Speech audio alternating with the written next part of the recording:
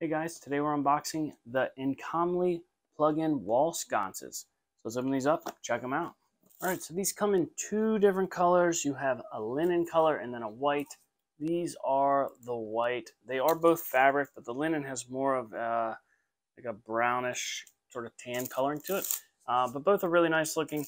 The coloring of the bulb, which by the way, the bulbs are included. They are LED, so they're gonna be super energy efficient. And you can adjust the color of the light anywhere from 2700K, which is like that really warm, almost yellow light, up to the super white, almost bluish light, 6500K.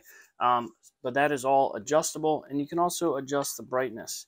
Uh, I see here they have a switch, so you can just turn them on and off that way. But then there is also a remote, which will be super handy that you don't have to go over to the switch.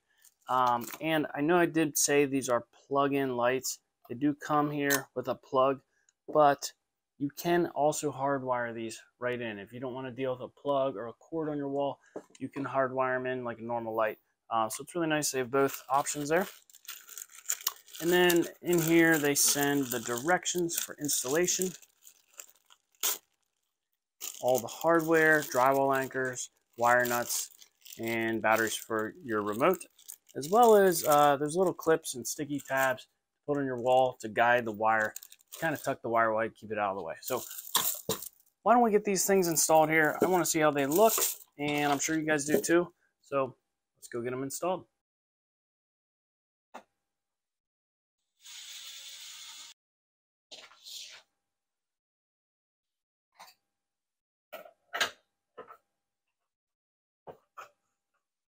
All right, guys, install was super easy. I mean, I did go with the outlet option, but uh, you can definitely hardwire it in if you want. Uh, the directions walk you through everything. But there's a mounting plate. You just mount to the wall, and everything just kind of clips right on. So uh, there's an on-off switch here, but you do want to pair this with your remote. So to do that, you're going to turn your light off. And then right after you turn it on, you're going to hit the setup button. The light starts blinking, and now it's paired. So now you can use all the features of the remote. And something great about this light is it has a memory built in because there's no controls actually on the light itself, you just set the way you want it on your remote. You can put your remote away and it's always going to go back to that every time you turn it on. So uh, you can adjust your brightness here. And there's not like three different brightnesses. You can change it exactly how you want it.